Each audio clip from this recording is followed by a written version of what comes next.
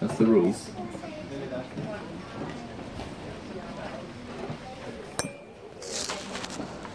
Well, my name is Adam Jackson, and after today, I am an international speaker. Yes. It is truly an honour to have been asked to be the best man at such a hugely significant day. Uh, you would have thought that on this day of all days, Dave would have been the best man, but no, I am the best man. Dave's not even second because Ben's pretty great.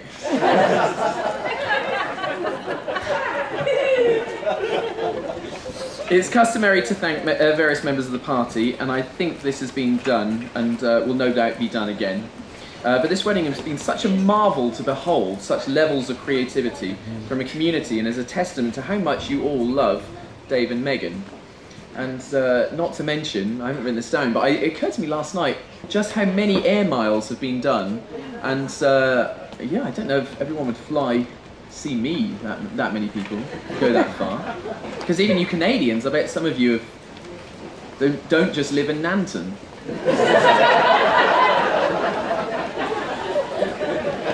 So I would like to take the opportunity to thank everyone who's worked so hard in putting this together. Actually, especially Mary Jane and Tom, who have just been.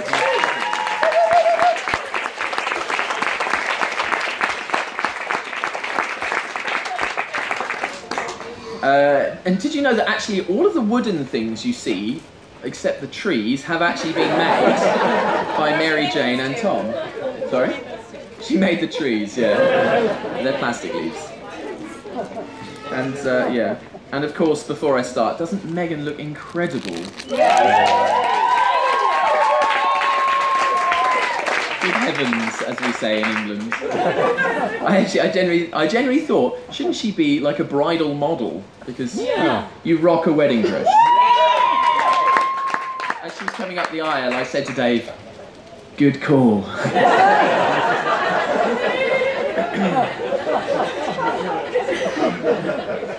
Anyway, it's very important that you know I'm from England. it's a tradition of my culture that the best man speech is an opportunity to humiliate the groom with skeletons in the closet that he thought he had long since buried.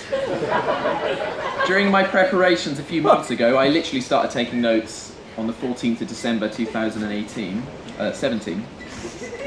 During my preparations a few months ago, Dave said that in Canada, the, sp- uh, the traditional way of doing a best man speech was more sentimental and uh, honouring. Yeah. But of course he's going to say that, isn't he?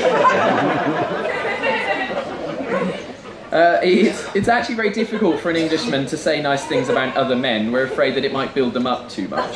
Yeah. So when you need to say something nice, it's important to offer the pill of admiration wrapped in the ham slice of ridicule. For those of you who have cats. or children, I suppose. No, not children. No, that's not how you give children. Okay, right. I'm still learning. Bill. That's lots of that. I met Dave about 10 years ago when there was rumour that we were going to have a clever intern come to church from Oxford University. Slightly disappointed by this small chap with floppy long hair, Dave and I soon became friends, as we shared many geeky interests in common. Those that know Dave will be well aware his most apparent quality is his brilliant intelligence. Once, when we were in the office sitting together in silence, I began to sang under my breath something, and within two notes, Dave knew that it was the Allegro man troppo by Beethoven. That was right, right? No, the din din din din. Yeah, that's it. See, cross.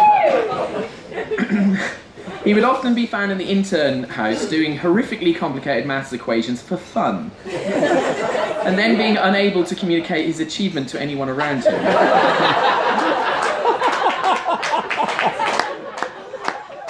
Trying to get embarrassing stories out his mother was hopeless.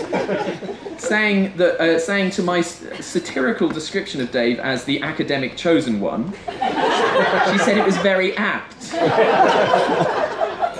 So uh, she did actually send me photocopies of uh, of your um, of your school reports from when you were six. Yeah, yeah. Yeah. Which I shall now I shall now quote exactly. This is not hyperbole. But um, when Dave was six years old, one of his teachers wrote, and I quote. David brings a great deal of scientific knowledge to the classroom. His understanding is truly breathtaking. This is what a fully grown man said about a six year old.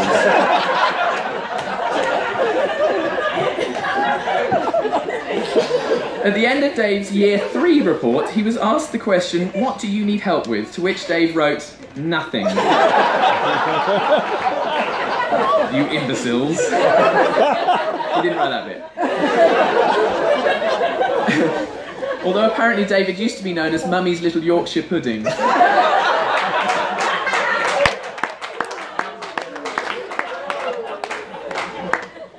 However, David wasn't always always a scientific genius. Once upon a time, he got very sunburned at university. So he wrapped his completely naked self in cling film and then stood in the shower until the water ran out. I presume the water for the whole college. Another time, he, walk, he wanted to silently walk through the guest room of our friend Suze, who was sleeping in there without the light, uh, without using any lights. However, he forgot that on his way in he'd closed the door. So on his way out in the dark, all that could be heard across the house was a full body slap of, of David's small frame against the door.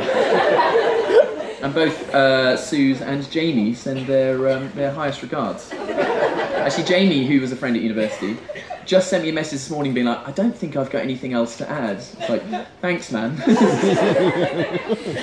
and in the midst of all this, though, Dave has kept his humility. He once said to a friend that he shared a house with, Congratulations, Mary, you're the only girl I've lived with who hasn't fallen in love with me. the worst thing is, it's true. But joking aside, Dave is a very important friend to me. God has blessed him with such a gift of wisdom that so many of us here had have, have had times when he's spoken such clarity and life into difficult situations. And uh, the whole thing about waiting three weeks, I'm like, I do that. And I realise it's because you said one time, don't just buy things on Amazon on a whim. Called John Watson it. Dave is a man of insatiable righteousness and uncompromising honour, a pursuer of truth, and there are few people I would travel halfway across the world to serve on this cosmically significant day. It's because I know that I will say one day, yes, of course I know him, I was his best man. And I didn't want to miss that opportunity to boast of this honour for anything. So, two amazing people who have a sold out heart for Jesus have come together to share a journey in which they will no doubt impact the lives of thousands. That God has drawn them together to fulfill a plan and a purpose that can only be fulfilled when they are together as one.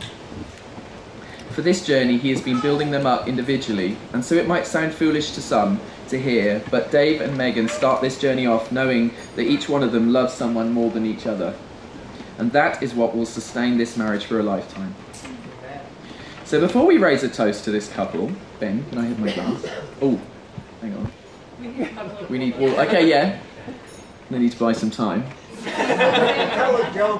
Yeah, so, uh, an appropriate joke. No, no, no, no, not the Disneyland one, no. Okay. Yes, the Disneyland one. no, not the yes, yes. Thanks, John, buddy. I'm here for you. You know that. Ginger. Tell you a story, actually, of what. No. No, not that one either. Come and ask me about ginger breast milk afterwards. Oh. yeah. We know that one. So before we raise a toast to this couple, I want to offer you both my blessing. That God would bless your relationship, that you would be forever growing together. That He would bless your household. That He would bless your whole household, that it would be a refuge of peace for outsiders. That He would bless your finances to abundance. That He would bless your sec- li- sex life, that you would be uncontactable at weekends, except at church.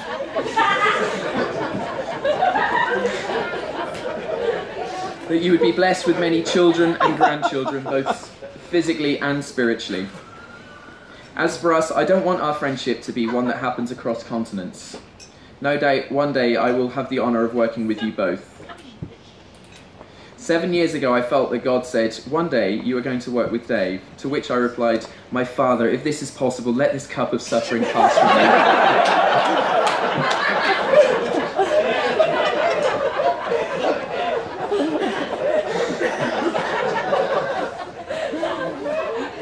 Few days later, both Dave and I received an email, un- unbeknownst of that fact, from a mutual friend, Phil, uh, who said he'd had a dream where I was preaching from the front and it really touched someone. And then Dave came and led them to the Lord. And this was a significant confirmation. I actually found that email, you should read it, it's really like. And now I believe with the words of a song that David's sister wrote for him a number of years ago. David Blaine, David Blaine, the Mathema Christian with a golden mane.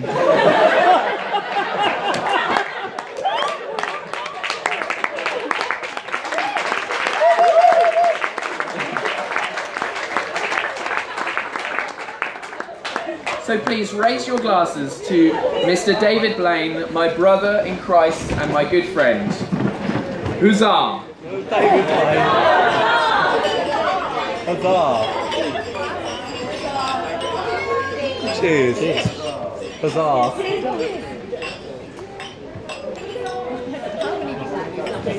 And if you'll be seated.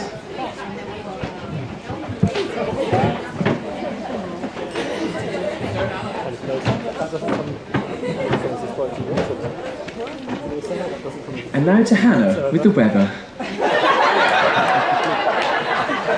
Today we had rain.